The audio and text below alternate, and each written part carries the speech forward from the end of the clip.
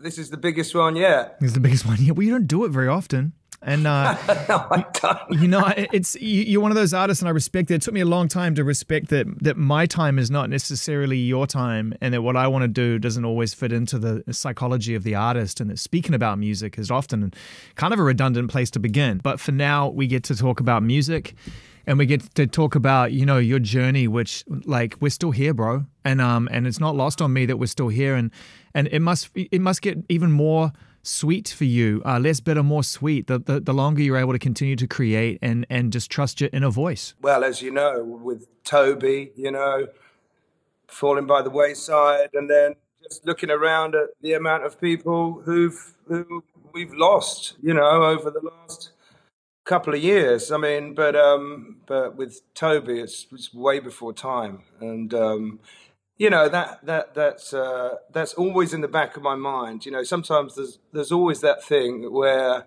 you think because uh, the number's still on my phone. It happens to me as well, and the messages are still there, and so it, it takes a while to compute, and then you watch an old video you know, and then like I was watching the emergency on Planet Earth, um, you know, that sort of re 4K thing.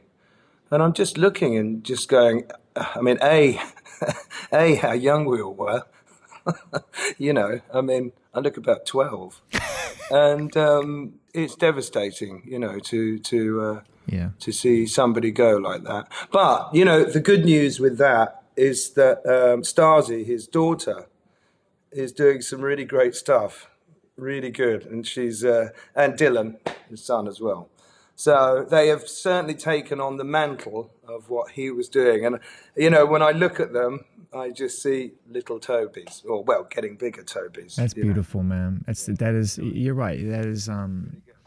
That, that that is the positive energy out of out of something that doesn't seem fair and, and it takes a long time to figure out what it all means and that's a bridge that no one ever gets used to crossing and I think um I think it also really it really makes me think about the indestructibility of youth and the idea of of you and your friends coming out and forming this band. And it's like all right our influences are authentic. Like we're in the acid jazz vibe. Like that's our label. We're just we're just trying to we're just trying to like impress the people that impress us. Yeah. when you found the, what, what you wanted to do and i touched on this from the beginning of the conversation it, it was to me i felt like you were trying to appeal to a small room of discerning fans. And I don't know whether it was timing. Certainly, you have to factor the quality of the music in. You, the marketing side of things. You, like, you said, you already had the Buffalo Man. Everything was kind of there. You had the, you know, the silhouette was there, and and silhouettes are really important. If you can sell it on a silhouette, you've smashed it, right? Yeah. So it, was, it was all there, and then out of nowhere, this kind of album starts to really pick up beyond that room, and you find yourself in bigger rooms, and and kind of you said it, it happens so fast. Like, how did that affect you looking back on it now? So psychologically and, and spiritually, knowing that what you were doing with at an appropriate level was becoming inappropriately successful. Well, I mean, you know, the thing was a, a very spiritual thing for me. You know, I was I was really deep into, and and still is. You know, I mean, um, I was really deep into. It. I I wanted I wanted to do anything that wasn't um, you know, like a Stock Aitken Waterman type thing, you know, like tinny pop. And I remember actually going into Roundhouse Studios for the first time to do When You're Gonna Learn. And they'd put me in with um, the, the, the Errol, the drummer from, from Imagination. No, I like Imagination, so don't get me wrong here. But, um, but we were in there crikey, we must have been in there for two days, day and night. And we got the track down, and it, oh, it had the full lyrics. Yeah, yeah, have you heard the news today? People around across the world, and there was the whole thing. And then there was a whole discussion about chopping all of it out.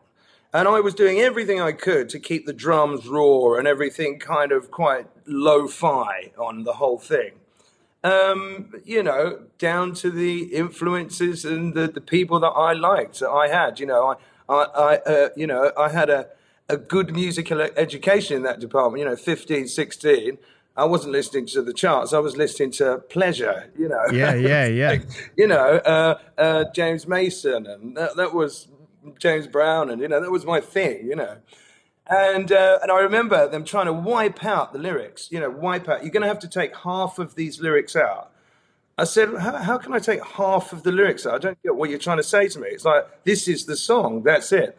Anyway, in the end, I, and, and, and of course, I, I was staggering, you know, to stay awake because I was so scared. If I drop or go out the room or go home, it's going to get pressed. They're going to screw this track up. You're going to press it up. I came back. I came back in the morning, and uh, and I mean, it was just it it it, it just been destroyed. The track. It, it just sounded like some kind of you know hi-fi, really bad, bad early '90s pop. And I was just furious. I threw it all out, threw everybody out, take you back to where it was, you know. Yeah, rightfully so. I have found the whole thing a bit of a battle, and and you know, I also I'm I'm, I'm aware that that the music that we do has not been a mainstream thing, and I haven't. I've probably not. I've probably been you know a more difficult custom customer when it comes to the thing of people saying hey, you know, um, you know, why didn't you do this? And I've been very strict on what I want to do. I want to do it this way. So, so in the height of your success, you know, and and you know, when it was the first time around, when in the first few albums and stuff, and it's all TFI Friday and Top of the Pops and Matt um, you know, the, the, reputation that was kicking around when I was just starting out in the UK was, you know, JK is difficult. And you've acknowledged that in this conversation that you had a reputation of being a bit of a difficult customer. So at that time, right, back then there wasn't social media and you couldn't be difficult today and nice tomorrow. That reputation really sticks. On a, on a very human level, how was it for you trying to do the best you can to make the best music and be true to your art, but kind of having this sort of early to mid 90s tabloid reputation for being a bit, a bit of an. I think, you know, you and I both know that, that um, and particularly in light of stuff that's come out with the hacking and stuff, which is, you know, um, you know, which we won't talk about in regards to me. Um, but, you know, that was um, virulent, you know, in the in the nineties, and um, not only did it involve, you know, photographers, and it went much further than that into the realms of the police and everything else. It was quite a, a full-on thing. You know, they were breaking the law um, um on every single level, and and it was a bit like not necessarily even on my side. It was almost like you know you'd read the paper, you know, some poor guy, and you think this poor guy, you know, is you know, just an ordinary member of the public, and you you know read the words. It it took me a long time, and um, because uh, it, it, took me a long time to go. You know, when I was a kid, you know, twenty two, you know, and I go, oh, but, but I didn't say that. you know, it took me a long time to work out. They don't give a whether you said that or not. That's just been construed, you know. So how do you get on that list? I think I think the invasive part was, you know, getting followed around. You know, people in glazing vans, you know, fake glazing vans. Um, you know, when you're trying to sit and just have a meal and you, you know, became an expert at spying. I said, there's nine guys at the moment waiting for me to pick my nose.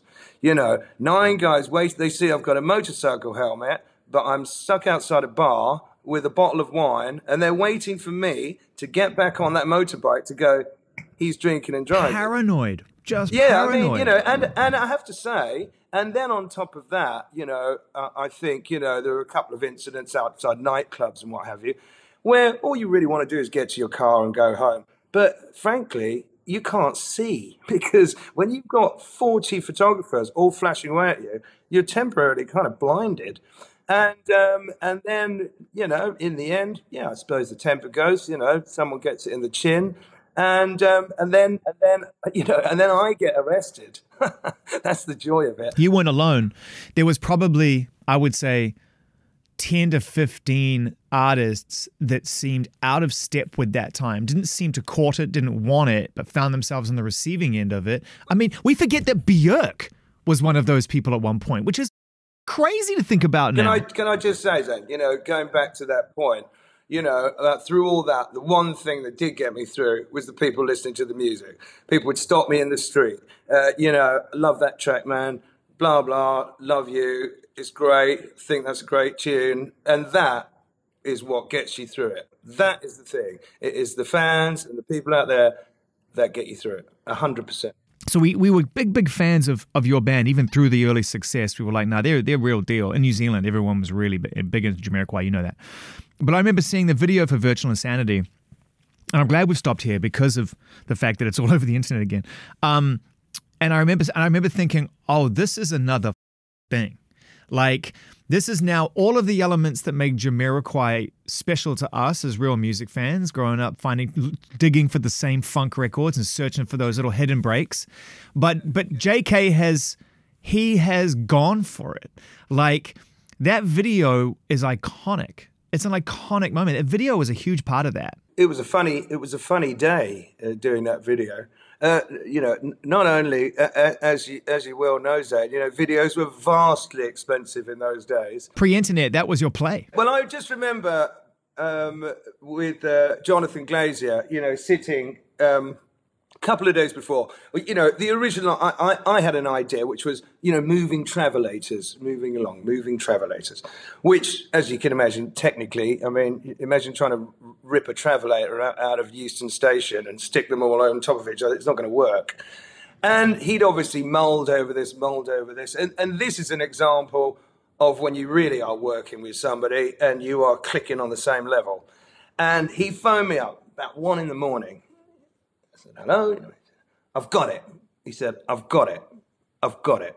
I'm, I'm going to lock off a camera and we're going to we're going to move a room around. And I was like, right, okay, uh, I get it. How, how, how does it, how, uh, all right, yeah, I, will pretend I know what you're talking about. but, um, but yeah, okay, sure. See you in the morning. Go for it. Anyway, turned up on set. And all I can hear is, North, quickly, south, slowly, north again, quickly. And I'm thinking, what is going on in here? And anyway, and there's a couple of sofas in the room. And I'm like, right. So, and it was straight into action, you know, whatever it was, seven in the morning, eight in the morning, you know, a bit of makeup, off you go. And uh, I remember standing in the middle of the room, okay, and song played back, you know, and I kind of sort of got into a sort of regular kind of, you know, slink about like I do, you know, cat in the hat it. And um, and uh, and then uh, and then he went right. I want you to be here on this line, and over there on that line. There's next line, and I'm like, I'm looking at the room, and I'm going, what? You want me to sing this line? How do I get there by the time I'm singing this line? Anyway. I said, let me look behind the camera, see what on earth you're talking about. And as soon as I looked behind the camera, I went, oh, I get it. I see what's going on here. And, uh, and from then on, uh, the magic happened. Apart from, I might add, the it was only four shots that video, and just um, I never quite understood the crow. What the is the crow doing here? But anyway, never mind. Uh, and the other thing uh, was the, all the blood coming out the walls. Now on the last shot, um, also there was a continuity problem because I picked up the wrong fleece um, which was a slightly lighter blue than the fleece I'd oh used. Nightmare. He, has, he hasn't got enough to figure out with his crow and his bleeding walls and his moving floors. Here you are showing the up. Point was, the point was, Zane, that, that, that once the walls started to bleed, that was it. You know, it was like there's no there's no mopping up the blood. Can we take that shot again? You're in, and that's it it's uh, it was like you know, one of those things where uh, well we're in for the penny and for the pound. Let's hope it works but how did it, how did it work? I mean I, am sure it's been talked about before but i've never heard the story. How does the floor move not just front and back? I see how junior watanabe did it but he you went left right and almost circular. How it's done is that the if you like, the sofas are are screwed into the wall, so they go along with the wall. And at any given point, suddenly they're quickly unscrewed, and then the, the, the all four, the whole, the whole room is on wheels. So as you unscrew the sofa, you know, suddenly the sofa looks like it's moving, but it's not. It, the whole thing is is the room moving. And uh, every, you know, I still get asked this uh, just time and time again, and it's society's man. It, it, it's it's the room that's moving, not the floor. And then, of course, I still don't get it. And this is what's amazing about this idea. I still can't get my head around it. You know what? You really know you've made it in this business when about six months later you see an advert for DFS furniture and they're doing the same thing. some couch, some brown couches moving around the room. you know when it ends, 30% down, nothing to pay till December. You know you've made it there. Yeah, but yet here you are, um, you know, and you're finding a way to celebrate the legacy that you've hard earned, and and we've you know appreciated all the way through. Um, paying respects to these albums um, and and giving us these these kind of beautiful anniversary editions. And then you also, I mean, it's we're only sort of four or five years on from the last album, um, which which saw you tour. Um, I saw you on the side of a road at you know on the way to Coachella when I went up there and just kind of like totally got inside your got inside your personal space. You know, the other great thing. I mean. Um, you know, and if I could shout him out, Tyler, the creator, you know, he came to both of things. And, you know, we've hung out a couple of times when he's been in London. What a wicked guy he is. You didn't know because I said to you, Did you see what Tyler said? And you were just like, No. And I was like, Look at this. And you were like, Oh, that's cool. Tyler, also the internet, who've got the Buffalo Man tattooed like on all of them. It's just like manic. And um, and um, and they, they told me that they did some uh, interview with um, uh, I don't know. It was it was it was it was definitely I guess one of the music magazines that doesn't particularly favour me much, you know. And, uh, and they went, so, uh, you know, who's your influencer? They went, a Jamiroquai man all day long. And, and, and, and she was like, what? you're kidding. What, the Pratt and the Hat? and they were like, don't you say that about him. Don't you say that about him. Yeah, right. Yeah, right. and, uh, yeah, I mean, Tyler, w- wicked guy. And we, we sat down and we listened to all sorts of stuff from punk, rock, jazz. I mean, everything. He really has got his head out there. You know, uh, he, he's a super guy.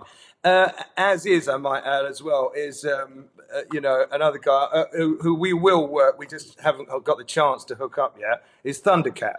I mean, that is just uh, that is so perfect. He is, you know, and and uh, I mean, we're, we're literally. I've just had to. What I've done at home is I've just because we didn't use it on the last what, two albums and I've reinstated uh, uh, not only sort of it's not a question of the, the, expense even it's the question of finding somebody who can get your SSL uh, E with a G series solid state logic um, desk back up and running again after the poor thing was under its cover bless its heart.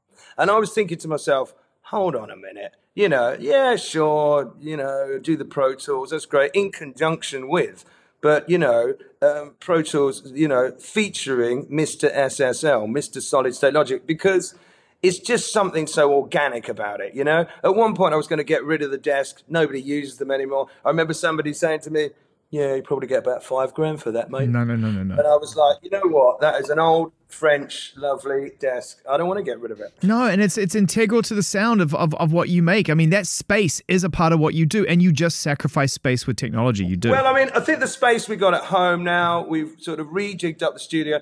We're kind of, you know, sort of ready. I mean, I'm, I'm sort of wait. Well, you don't need to wait long for this in England. But I'm, uh, I mean, not, on, not only with everything that's going on here, but there's nothing left to do but go in the studio because because it's crumbling to pieces over here.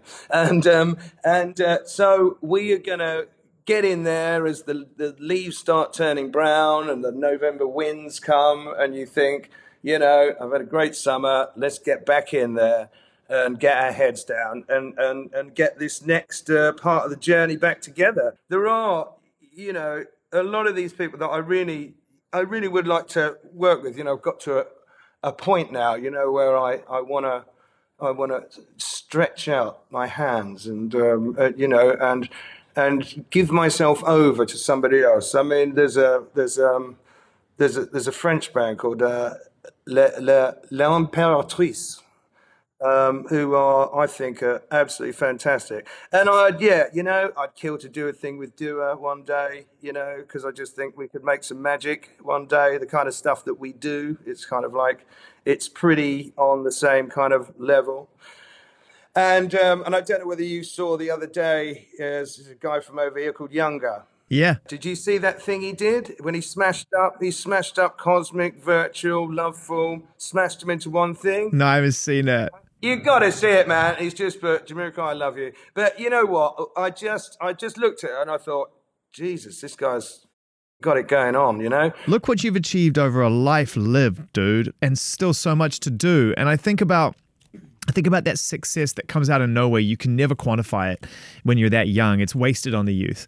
And then you sort of fight your way back into something that is ultimately that you can kind of is tangible and quantifiable. And then you find yourself at this point in your life, I'm going to rattle it off for you just to make you feel good in a nice cold, wintry, dark evening in London, right? You've still got your hair, you're aging beautifully, you got your voice, you got your body, you got your wits about you, and you've got all these artists who love you, man. I mean, it's all there. I'm fairly battle scarred, to be fair. I'd be I'd be lying if I didn't say, you know, up here in this little brain of mine has had a few battles of its own. Um, the last few couple of years haven't helped. I must say, cooped up at home. Dude, the music will lead you, man. It will always be there for you. It will always guide you. You know what? You you you think to yourself that that for whatever you you know whatever you've done music um, as again just sorry to quote bob marley twice in one interview but hit me with music hit me with music now you know. Mm-hmm, i do bro. About music when it hit you feel no pain